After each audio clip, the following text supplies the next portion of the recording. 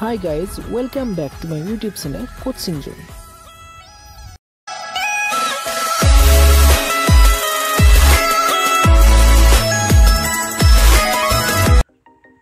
হাই বন্ধুসকল আজি আমি ভিডিঅ'টোত আপোনালোকৰ আগলৈ এটা নিৰ্দিষ্ট এটা টপিক লৈ আহিছোঁ।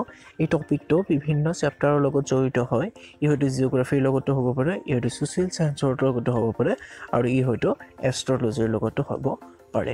আৰু বিশেষকৈ এই পাঠটো আমাৰ ক্লাছ ছিক্সৰ ছ'চিয়েল ছায়েন্সত চেপ্টাৰটোত প্ৰথম চেপ্টাৰটোতে দেখিবলৈ পোৱা যায়। গতিকে আপোনালোকে সেই চেপ্টাৰটোৰ বাবে এই ভিডিঅ'টো টি এল এম হিচাপে ব্যৱহাৰ কৰিব পাৰিব। গতিকে আহক আমি পাঠটোৰ মাজলৈ যাওঁ।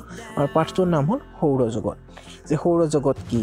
সৌৰজগত আৰু পৃথিৱী। সৌৰজগতত পৃথিৱীৰ স্থান কেনেকুৱা?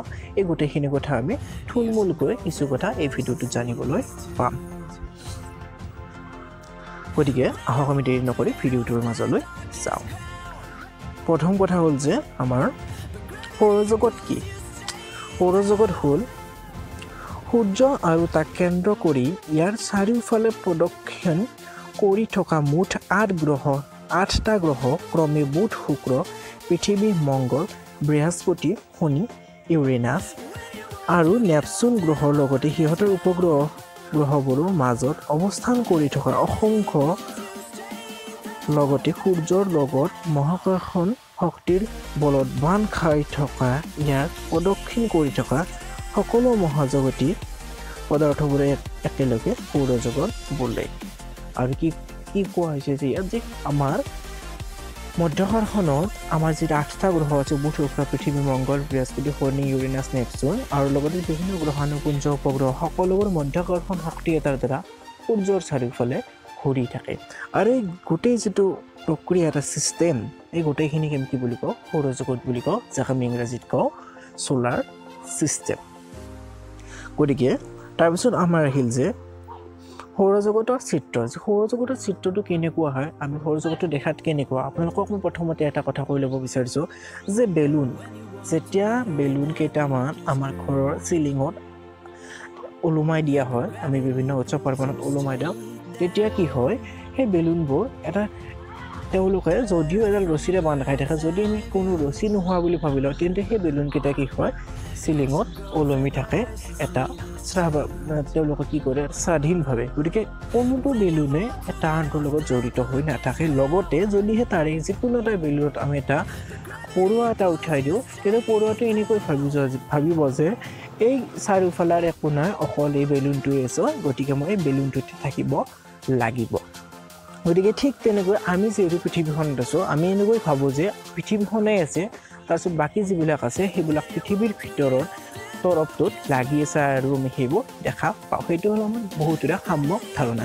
কিন্তু সেইটো নহয় প্ৰতিটো বস্তুৱে প্ৰতিটো আমাৰ প্লেনেটে নিজাকৈ এটা মাধ্যকৰখিনি বলৰ দ্বাৰাহে লগ লাগি আছে। আৰু সেইখিনি কথা ইয়াত আমি পিছৰ পৰ্যায়ত ভিডিঅ'টো ভালদৰে বুজিবলৈ চেষ্টা কৰিম। গতিকে প্ৰথমতে আমাৰ সৌৰজগতৰ চিত্ৰ যদি চাব যাওঁ প্ৰথমতে ইয়াৰ মাজত সূৰ্যটো থাকে আৰু সূৰ্যৰ চাৰিওফালে এনেকুৱা ধৰণৰ বিভিন্ন ধৰণৰ কক্ষপথ আমি দেখিবলৈ পাওঁ আৰু আঠটা গ্ৰহৰ বাবে আঠটা আমাৰ কক্ষপথ থাকে আৰু প্ৰতিটো কক্ষপথতে এনেকুৱা ধৰণে আমাৰ গ্ৰহবিলাক দেখিবলৈ পাওঁ। ইয়াৰ প্ৰতিটো গ্ৰহ আমি যদি ক'বলৈ যাওঁ এইটো হ'ব বুধ এইটো শুক্ৰ এইটো পৃথিৱী এইটো এইটো মংগল বৃহস্পতি ৰ'ব আপোনালোকে বৃহস্পতি শনি ইউৰেনাছ আৰু নেপচুন। এই গোটেইকেইটা গ্ৰহ ইয়াত আছে আৰু এইকেইটা আমি এনেকুৱা ধৰণে দেখিবলৈ পাওঁ। এই ভিডিঅ'টোত আপোনালোকে স্পষ্টভাৱে দেখা পাইছে যে প্ৰতিটো গ্ৰহই সূৰ্যৰ চাৰিওফালে নিজ কক্ষাপথত ঘূৰি আছে আৰু তাৰ নিজৰ জীৱনকালত প্ৰতিটো গ্ৰহই এনেকুৱা ধৰণে ঘূৰি থাকে। আৰু ইয়াত আৰু এটা মুভমেণ্ট দেখিবলৈ পাইছে যে কি কৰে প্ৰত্যেকটো গ্ৰহই এটা নিৰ্দিষ্ট কেন্দ্ৰবিন্দুত ঘূৰি থাকে আৰু সেইটোক আমি আপেক্ষিক কাল বুলি কওঁ। তাৰ লগতে ই কক্ষপথত ই গোটেই জীৱন জুৰি ঘূৰিয়ে থাকে। তাৰপিছত আমি জানিম যে আমাৰ গ্ৰহ সম্বন্ধীয় কিছুমান তথ্য গ্ৰহবোৰৰ কিছুমান তথ্য আমি ইয়াত আপোনালোকলৈ আগবঢ়াইছোঁ যিখিনি হয়তো আমি জনা উচিত। গতিকে আহক কি দিছে আমি চাওঁ প্লেনেট আমাৰ গ্ৰহবিলাকৰ আমাৰ নাম আছে ইয়াত বিভিন্ন নাম থাকে গ্ৰহবিলাকৰ। গতিকে ইয়াত নামবিলাক আছে।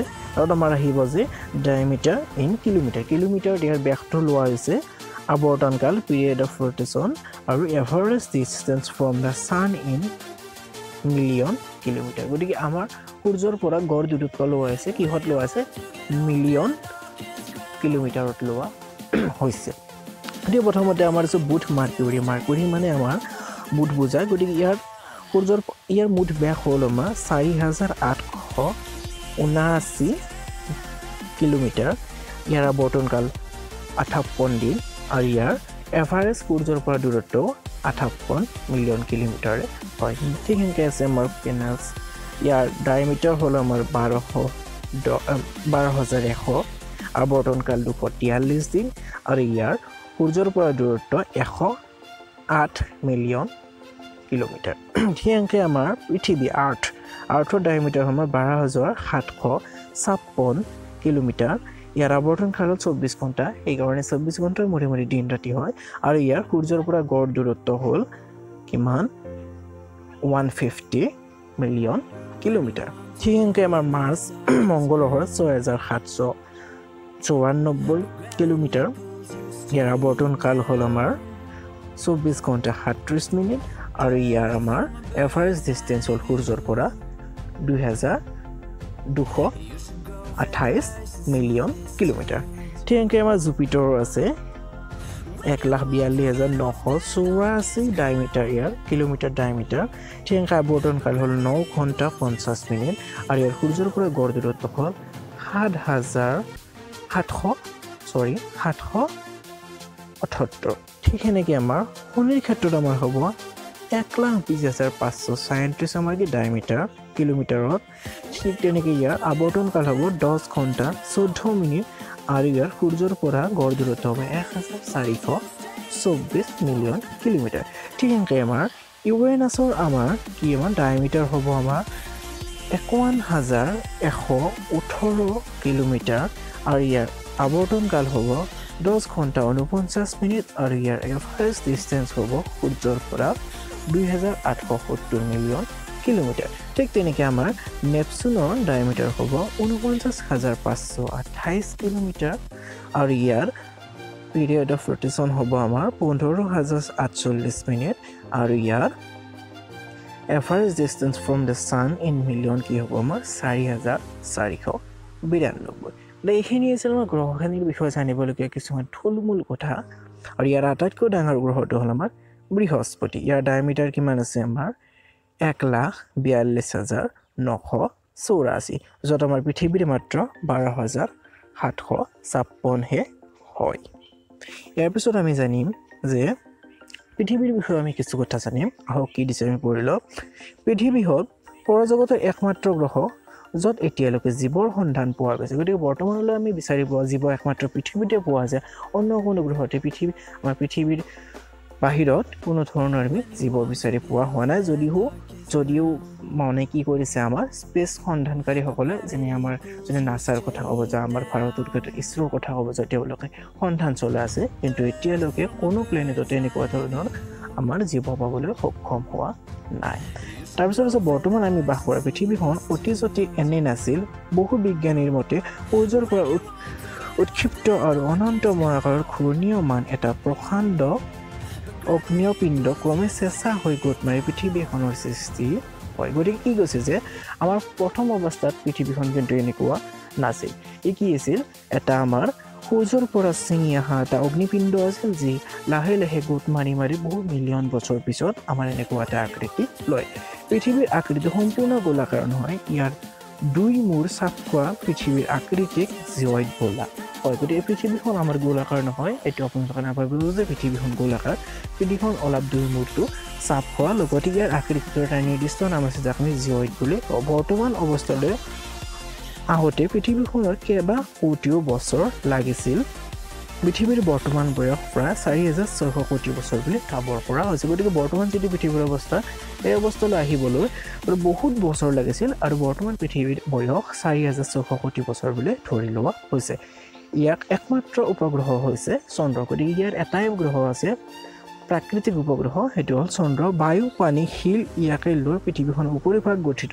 ইয়াৰ ভিতৰত বায়ু আটাইতকৈ পাতল সেয়ে বায়ু সকলোতকৈ ওপৰত আছে। এই বায়ুৱে এখন ডাঠ অদৃশ্য চাদৰৰ দৰে পৃথিৱীক আৱৰি ৰাখিছে। গতিকে কোৱা হৈছে যে পৃথিৱীত আমাৰ কি আছে?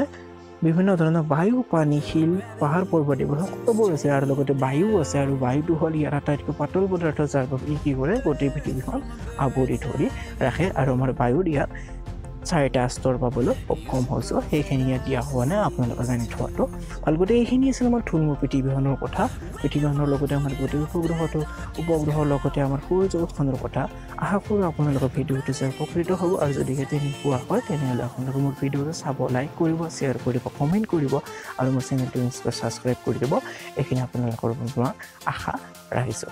তো ভিডিঅ'টো চোৱালৈকে চোৱাৰ বাবে আপোনালোক সকলোকে বহুত বহুত ধন্যবাদ জনাইছোঁ। আশা কৰোঁ আপোনালোকৰ মৰম মই সদায় পাই থাকিম।